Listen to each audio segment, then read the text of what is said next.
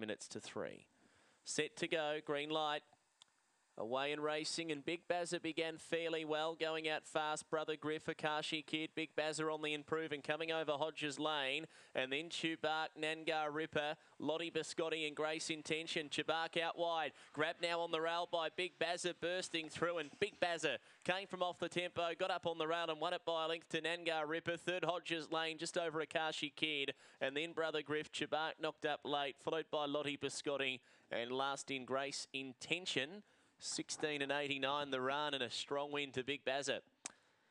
Well, he punched hard late along the inside, Big Bazza, and he'll race home to score here. A nice, strong, powerful win from off the tempo.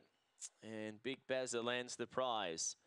Strong effort, really strong the last 75 metres when he got clear air, pushed up on the